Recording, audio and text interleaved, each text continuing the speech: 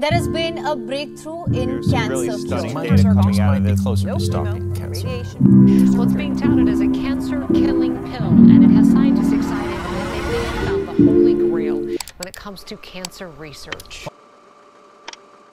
There is a new cancer cure pill that is causing a storm in the news and social media because it can cure many types of cancer and not damage our healthy normal cells in the process. So today I want to explain it to you as simple as possible.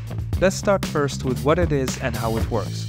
This new drug is known as AOH 1996. This is the chemical structure of the drug if you care about chemistry or you just want a new tattoo inspiration.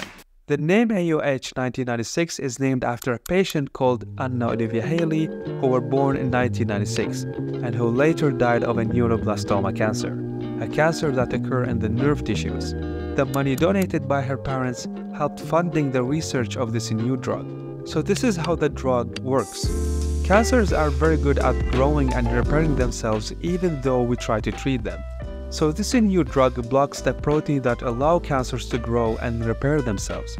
This protein is called PCNA, but more specifically known as cancer PCNA in cancer cells.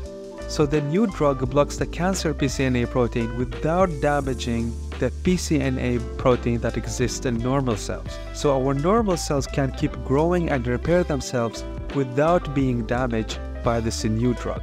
In this way, we can kill the cancer cells without killing many normal cells with it. And this was considered to be impossible before, until a couple days ago.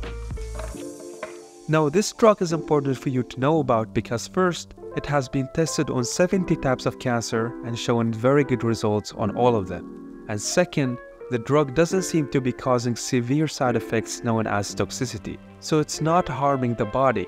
However, the drug has not been tested on humans yet but only on mice and dogs, but it should be soon available for human trials.